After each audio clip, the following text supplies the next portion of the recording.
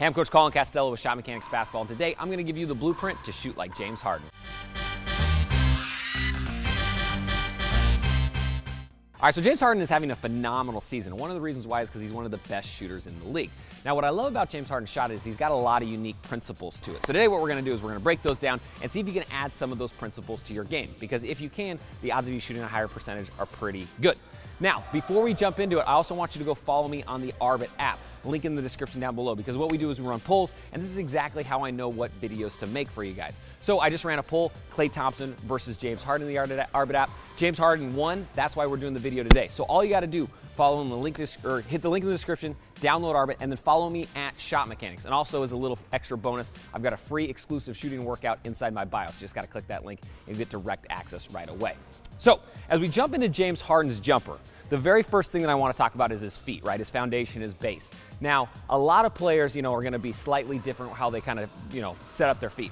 But if you look at James Harden, when he's getting ready to shoot, most of the time he's got a nice tilt off to the side. Now, you always want to tilt to your dominant or away from your dominant side. So if I'm a right-handed shooter, I'm going to tilt to the left. Because James Harden's a lefty, he's going to tilt to the right just like this, right? So even if you're trying to get James Harden's form, if you're a righty, you don't want to tilt the same way as him you want to tilt the opposite direction, right? So for the sake of demonstration, because I'm a right-handed player, I'm going to kind of do everything like I'm a righty. But keep in mind, James is going to be exact opposite, right? So with the feet, the whole key here is that number one, you're going to start a little bit more narrow than you're probably used to. And number two, you're to tilt both feet to where they're parallel with each other.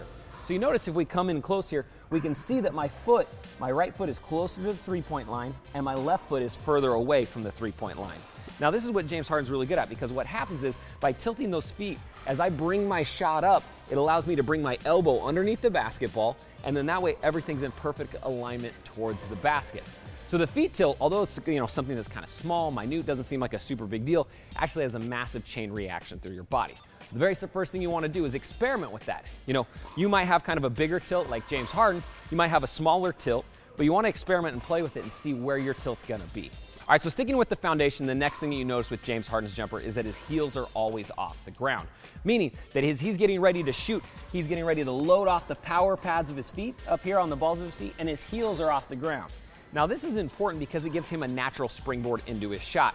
So you notice that as he's getting ready to shoot and as his hips and his knees flex, so can his heels, right? If your heels and ankles can flex at the same time, that's gonna allow all three joints to work together and so they can spring and extend. Now, what you see with a lot of players is when they're getting ready to shoot, they might plant their heel and plant their heel, and by doing that, the ground and energy takes all of their momentum, and then it's really hard to regather. This is why James Harden gets really good pop on his jump shot, even though he doesn't jump very high, right? Because as he loads, he's keeping those heels off the ground, he gets all three of those joints working together. So I always like to think about, pretend like you're on a diving board or a springboard, right? If you're getting ready to jump off a diving board, rarely are you going to plant your heels into it and then try to get that energy, right? You're springy, you're quick, you're on the balls of your feet. You want to do the exact same thing when you're shooting. If you can experiment with that, it's probably going to help you out. All right, so the next thing we want to talk about is as we move up the body, we're going to talk about our hand positioning on the basketball. Now, James Harden used to keep his hand more on the side of the basketball, but now he's starting to transition a little bit more towards the top. Now for this, it kind of it just depends on what works best for you, right? You might like your hand on the very top of the ball, kind of more like James Harden. You might like it more on the side of the ball, kind of like Steph Curry. You might like it behind the ball like this, or you might like it somewhere in between, right? But for James Harden, what I like about having his hand on top of the ball, or kind of topish side sometimes, is as he brings it up into his shot, it's already directly underneath the basketball right? And it doesn't, it makes it so it doesn't force his elbow out. What we see if you try to put your hand behind the basketball a lot of times is it's gonna push that joint, it's gonna push that elbow out. So as you try to come through, your elbow's gonna point off to the side. So one really simple tweak and fix is to put that hand on top of the basketball and just try to lock your wrist early as it's coming up. That way you can snap it forward. So play around with hand position. See what works best for you. Like James Harden, it might be more on the top or it might be a little bit more on the side. All right, so the next thing I love about James Harden's jump shot is his high release. Meaning as he releases the basketball, he gets his shooting arm high up on his shot. Now, a lot of times with younger players, we're trying to get more power, right? So the further you scoot out, the lower your release becomes because you're trying to push it. But James Harden has that optimal release, whereas he's getting ready to release the basketball, his shooting elbow is above his eye line right? And this is really important because the better arc you get on the basketball, the better chance it has of going in mathematically speaking. Right? So this is super important, and it's something that James Harden's really, really good at. And it doesn't matter if he's shooting off a separation, he's shooting off of the pull-up, catch and shoot, whatever it is. He's really good at making sure that when he catches and releases, he gets that shooting elbow above his eye. Now, with that being said, you can have too high of a release, right? We don't want to skyrocket it all the way back behind our ear because that means that we're going to be getting too much arc and not enough touch on the shot, right? So just like James Harden, think about finding that optimal release when the ball comes out of your hand. You want that elbow just barely above your eye line, somewhere right in here. If you can do that, you're immediately going to hit more shots. All right, so the next thing that's super interesting about James Harden's shot is he gets very low lift, meaning he doesn't jump very high most of the time. Now, this is really interesting because we kind of grew up, you know, thinking that you always had to jump really high on your shot. Everybody was saying, get more lift, get more lift. But really, it doesn't matter quite as much as people think. As long as you have your heels off the ground, like we talked about before, you don't need to jump super high on your shot. Now, with that being said, there's gonna be times where you're gonna wanna jump higher, and it's gonna be a little bit different. Like if you're shooting in the mid range, if I come in here and I'm contested, right, a guy's with a hand in my face, there's where I might wanna lift and get more jump on my shot. Right, but on the three point line, if I'm catching and shooting or shooting off of a step back or whatever it is, just like James Harden, you don't need to jump really, really high.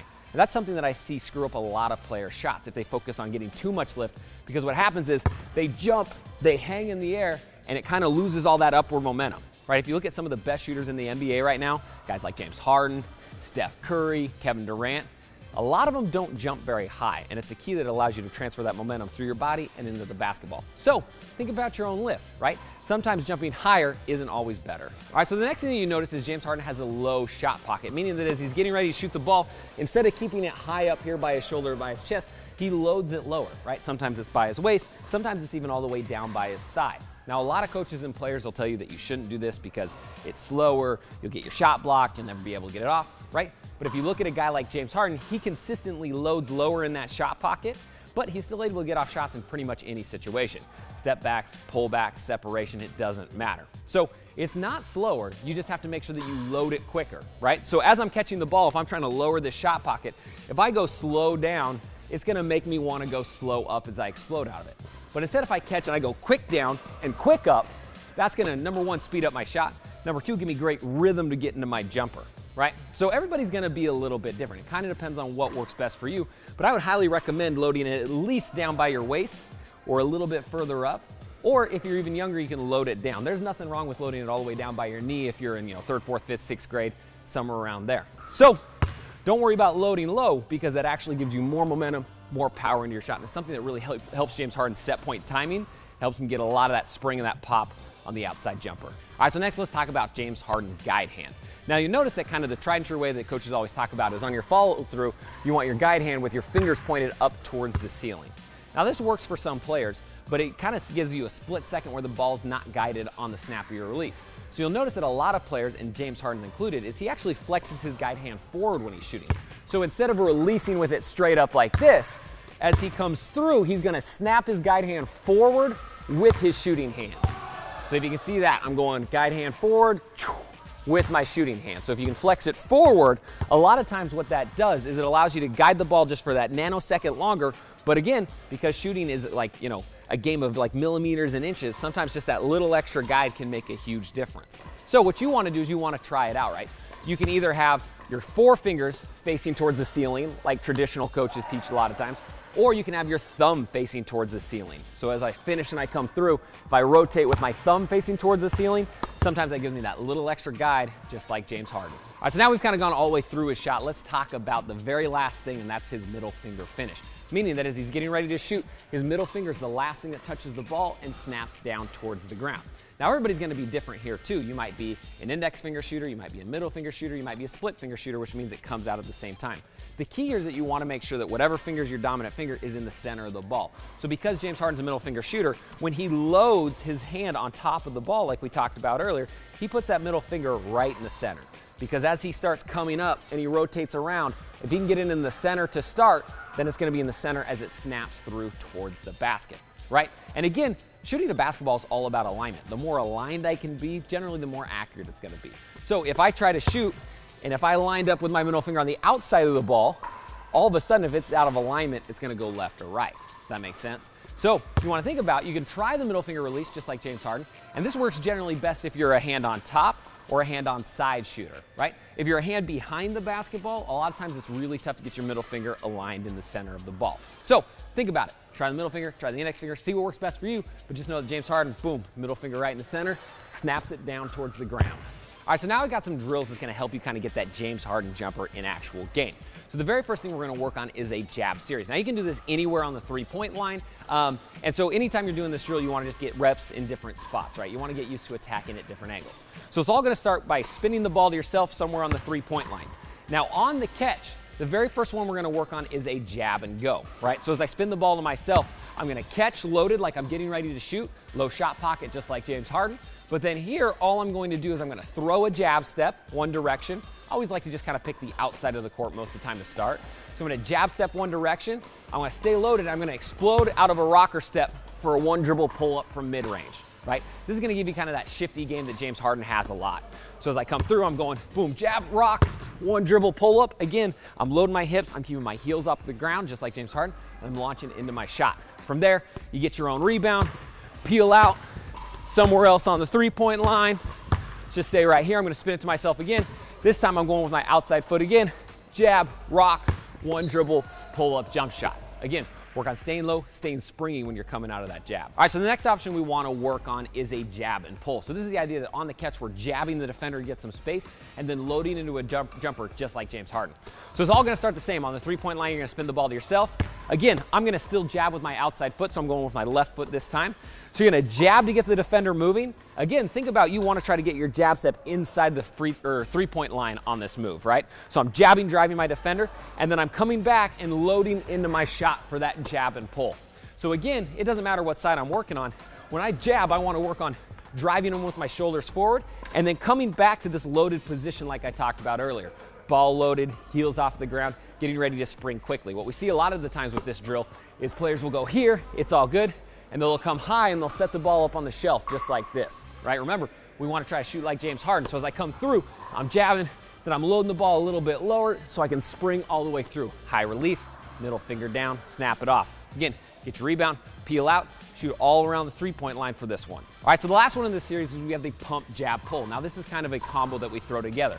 So it's all gonna start the same. Spin the ball to yourself, you're gonna catch, you're gonna pump fake up, right? You're trying to raise your hips just a little bit and raise the ball above your head to get them moving.